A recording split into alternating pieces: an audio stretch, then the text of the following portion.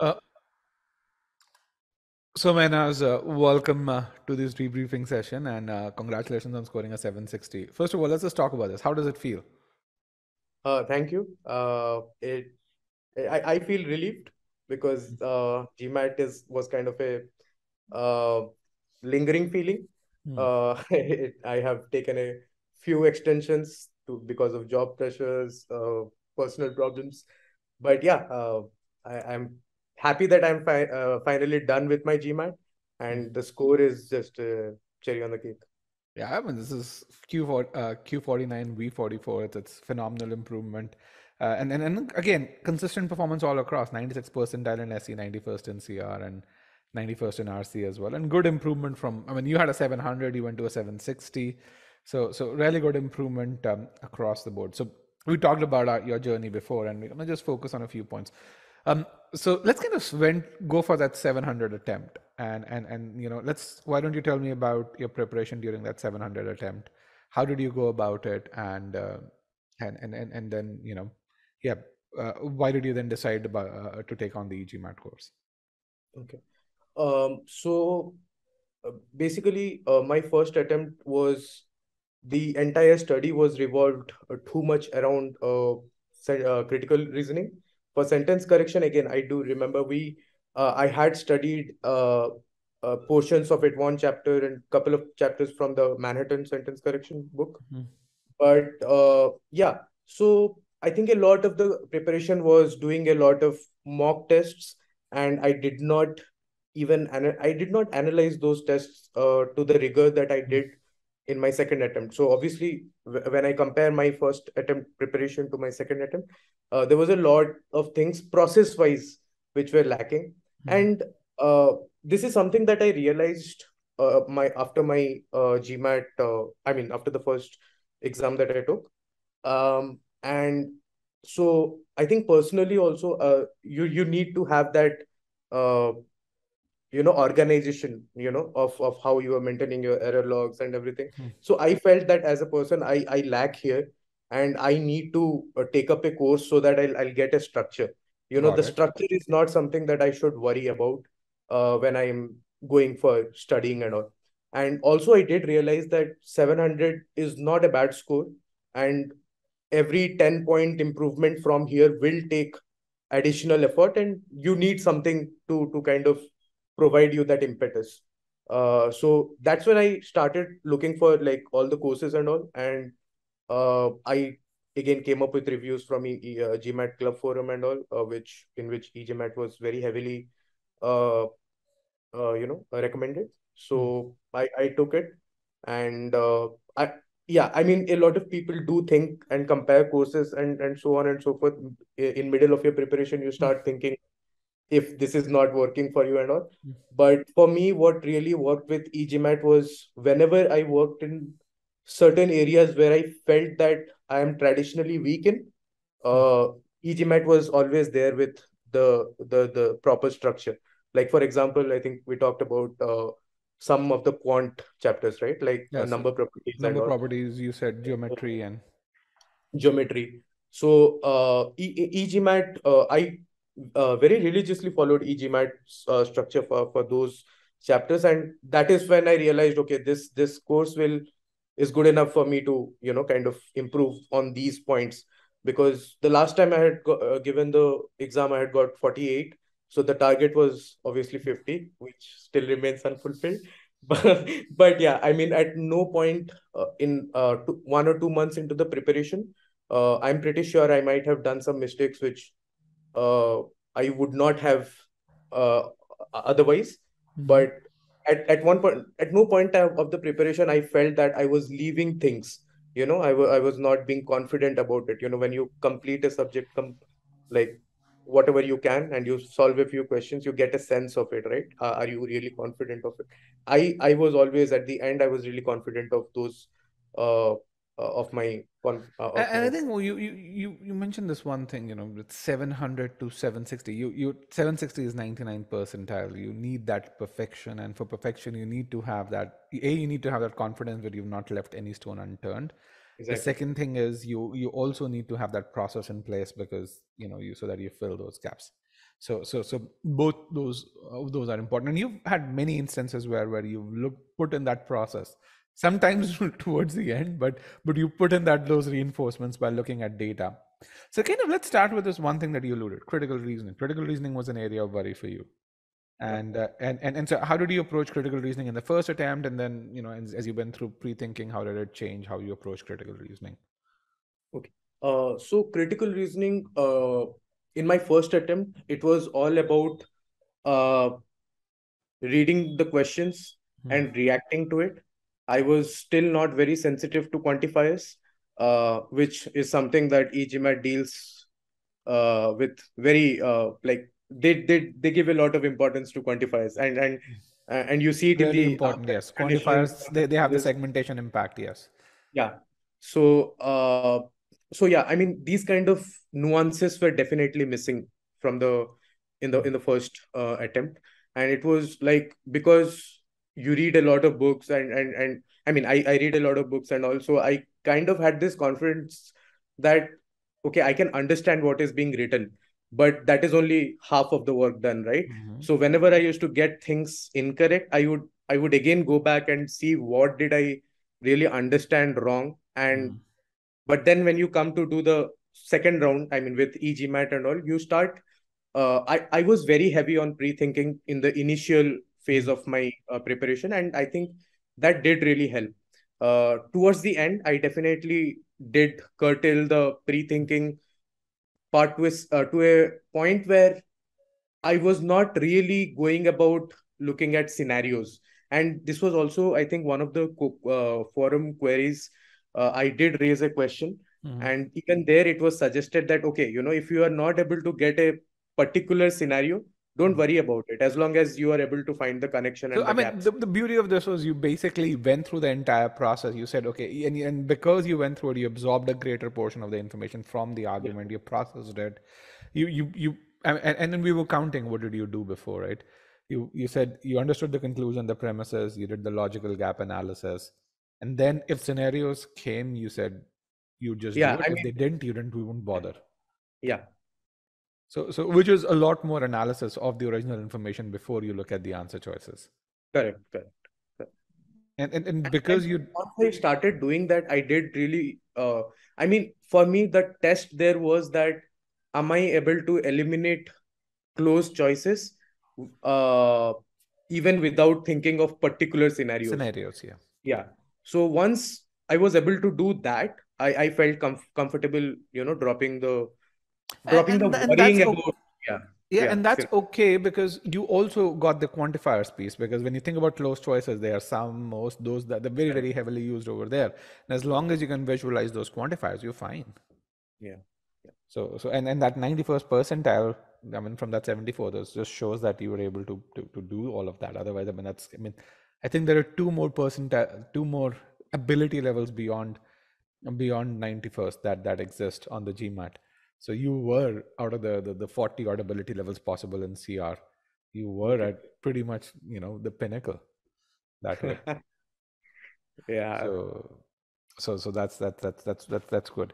So, so I think let's kind of talk about, I want to then talk about the other pieces as well. So let's talk about SC and, and, and how did you approach SC in, I mean, because you went from what, 84th to 96th, 85th to 96th percentile in SC.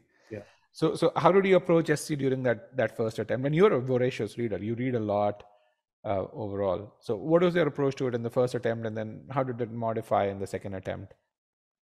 Uh, so in the first attempt, I had for SC there was only one preparation, and that was the sentence correction guide, and also there was this uh, sorry, uh, the Manhattan sentence hmm. correction mm-hmm. guide. Uh, after that, it was honestly just uh, looking at the couple of questions that you used and to your and your ear because what sounded right. Yeah yeah yeah. And uh, uh, yeah i mean even i think with the 85 percentile i think there was one particular there's a breakup right? Where you are uh, where they say logical meaning and then uh, grammar right? Yes. So i remember i had uh, in my first esr in the logical meaning side i think mm-hmm. there i i was uh, somewhere around uh, 85 or 90 percent in the grammar uh, portion I was 50, at 50%. 50%. So you know okay. that was again one of the other cues which which was for me to take a course, you know, so that I don't I I because obviously you know that you're it's very difficult to remember the grammar rules. Mhm. Uh, you cannot do that. So you need the kind of structure that EGMAT provides, right? That you you do one you you do a couple of kinds of questions. Hmm. If you're getting it wrong, you you see it and you understand try to understand it. And even if you think you have understood it, it doesn't let you go. It again asks the same question, similar question in the next uh, uh, uh, quiz, and you you kind of get used to those questions. So so yeah, that that structure was really important, which was one of the reasons why I uh, thought of taking EGMAT. But yeah, uh, so the the so yeah the, the the meaning side of it was was covered. It was only when during the second uh, preparation, uh, uh, I mean preparation for the second exam, when I uh, there was a time when I went uh, too heavy on the grammars and all, and which really uh, you know messed with the mind. So there was a serious dip in my uh, sentence correction abilities. Mhm. But then, uh, uh, as we as I said, right, I, I took up only those uh, modifiers and parallelism. So yes, and I think I- let's. I think let's. So you you did this. You did the grammar really well.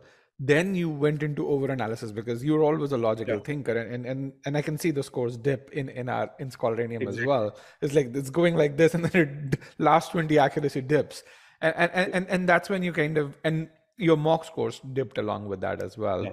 because Yeah. you were taking too long in this this analysis. So Yeah. so uh, what are the two or three things that you did to fix that? Because you went back to that 96 percentile, which I think is just one level shy of the best you can get in SC.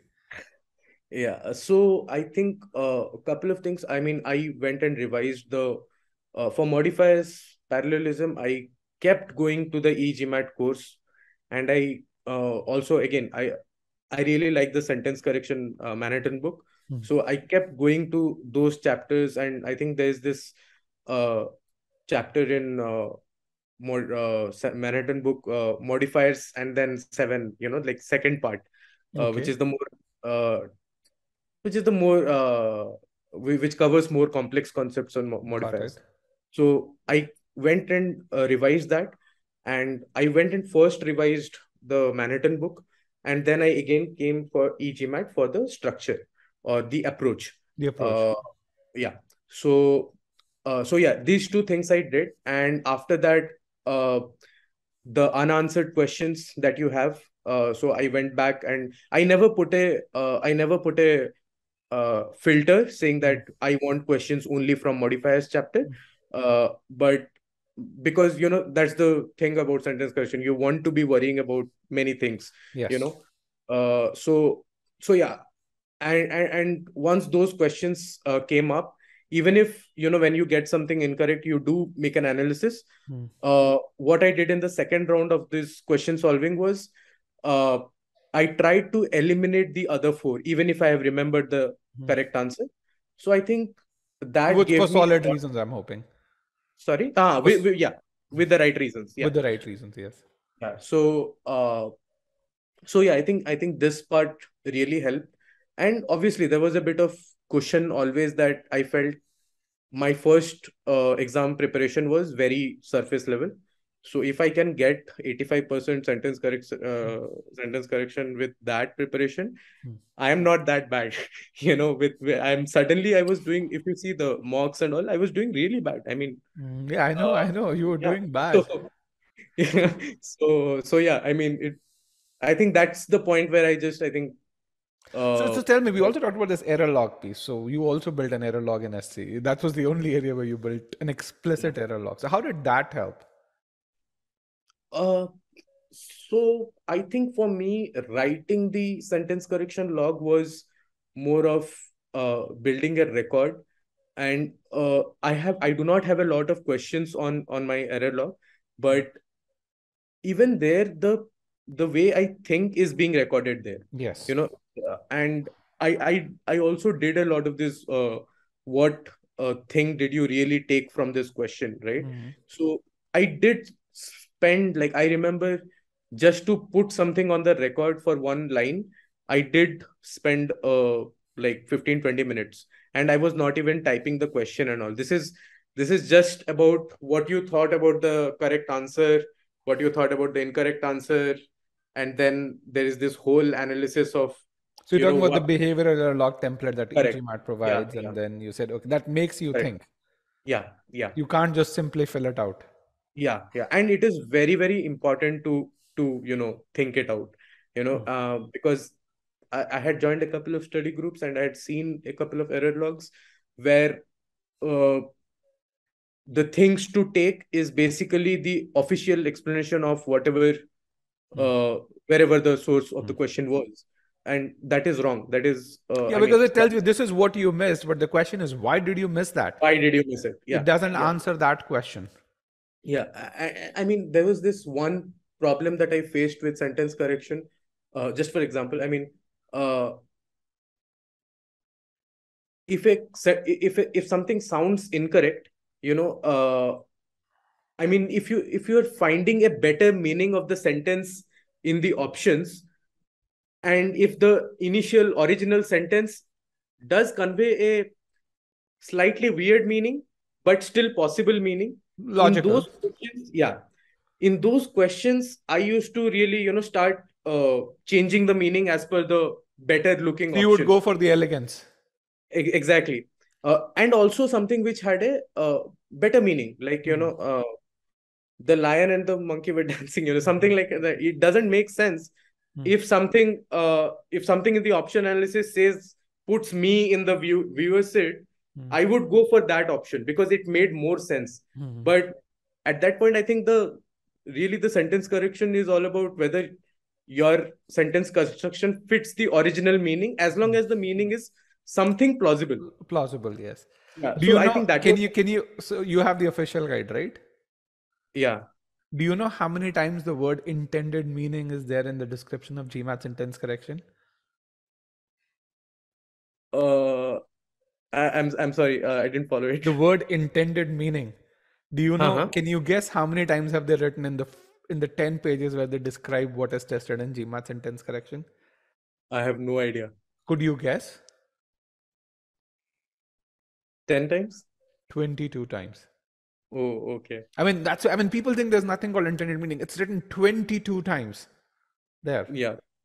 and and, Uh, and that's where i mean uh, because gmat SC is a test of communication and there's a the author has something in mind when when when they want to communicate something and Correct. and and so you've got to maintain that piece Yeah. if it's a logical piece sometimes it's not logical and there you have to infer and that's kind of where you where where you you know the other answer choices do help sometimes or otherwise you have to spend a bit more time on the original option but yeah where the, where the meaning is logical you've got to maintain it you Yeah. can't go for elegance Yeah, th- this was this was one of the main things, a- and this is something again which I felt eGMAT really tested.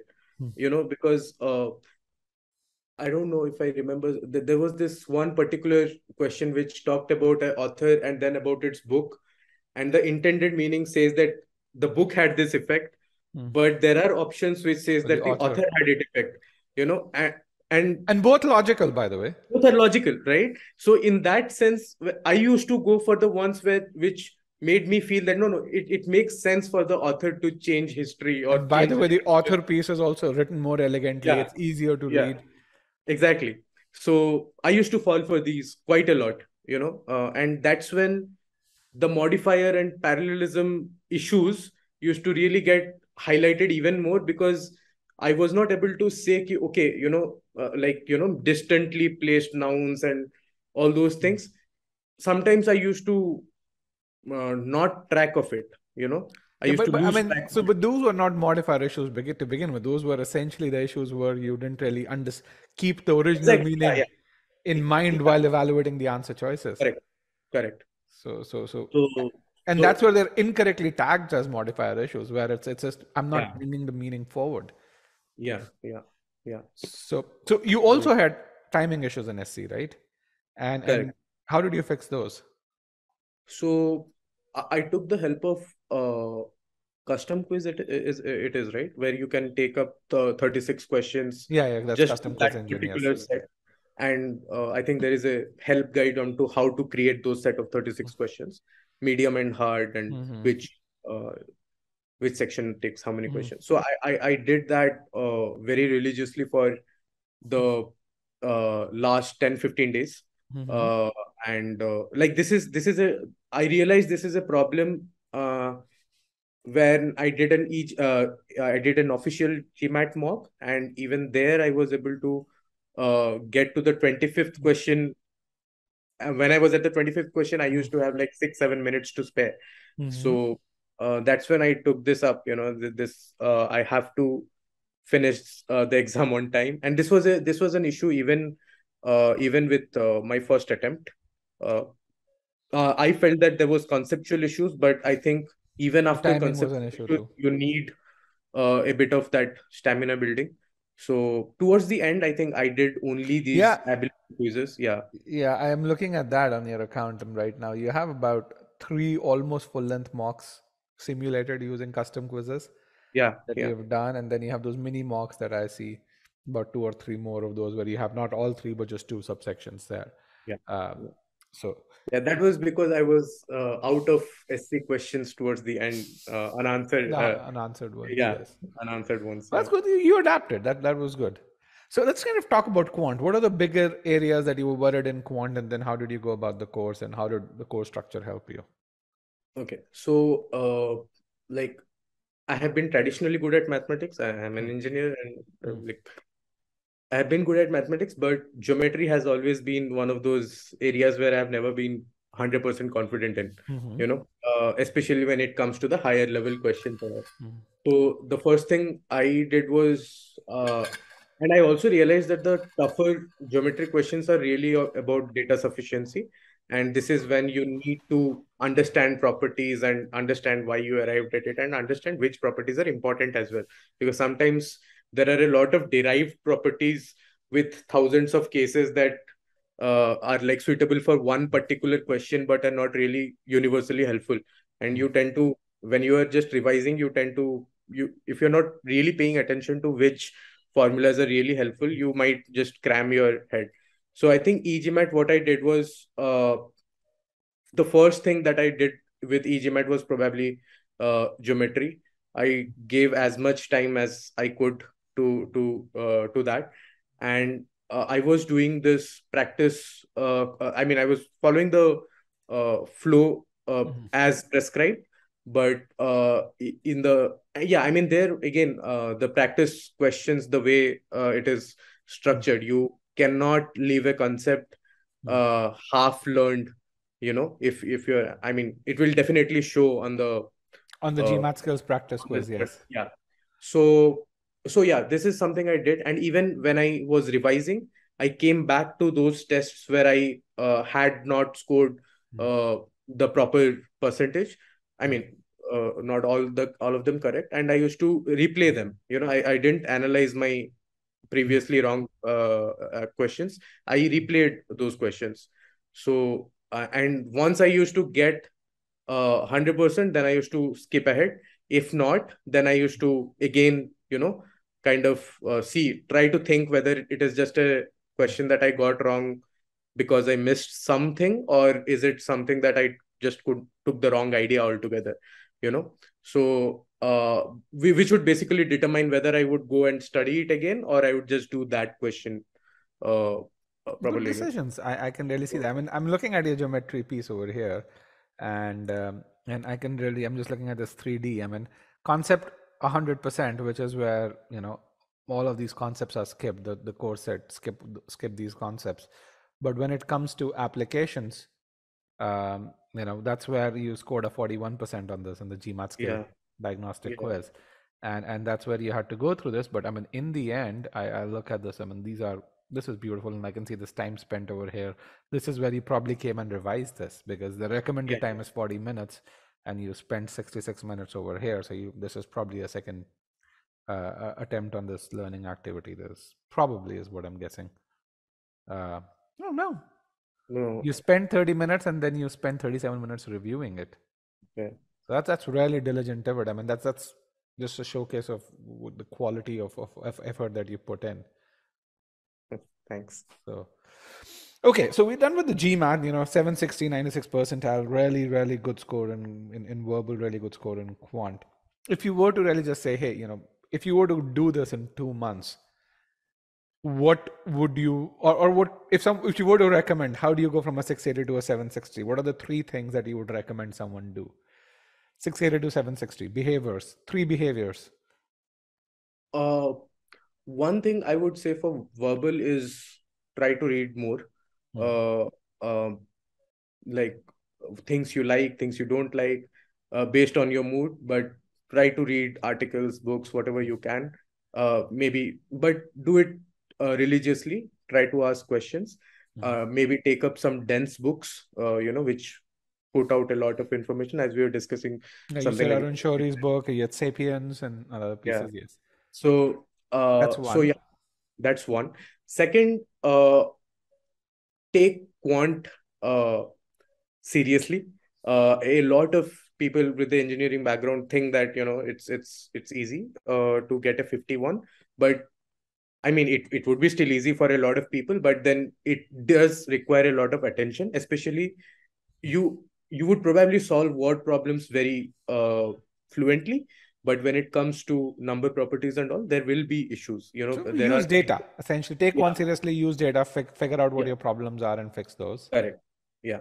And uh, third thing, I think uh, maintaining error log, but I haven't really talked about EGMAT here. Uh, but for me, you know, Behaviors. It's behaviors. yeah, okay. So uh, I think uh, analyzing what uh, what is going wrong is very, very important. Hmm. Uh, and do not lose. I mean, the analysis should be done from a third party, uh, you know, like from a third person perspective, you know. Uh, uh, you need to be uh, honest in saying that okay these questions these uh, issues like it is very difficult for for me to accept that i'm not understanding the passage well enough you know because you you have been doing this all throughout your life it, it feels that you have it under control but then gmat questions really push you to the edge. So when you are targeting 760 uh, you need to be uh, at a level where you are you are really understanding i mean you are really able to see the more important pass, uh, parts of the passage you know and you are able to draw the connections and all. So it requires a lot of practice. I would say that i mean it does not it requires a lot of practice in thinking you know not ab- about the number of questions and all. Uh, uh, record your if you are maintaining an error log record your thoughts in your error log. I mean that is that is very very important. You need to uh, i kind of did a lot of this mentally but then because i had the support of egmat where i could come and uh, re-see these questions it it helped. But uh, people who are working on it individually they need to maintain the thought process in the error log. That is very very important.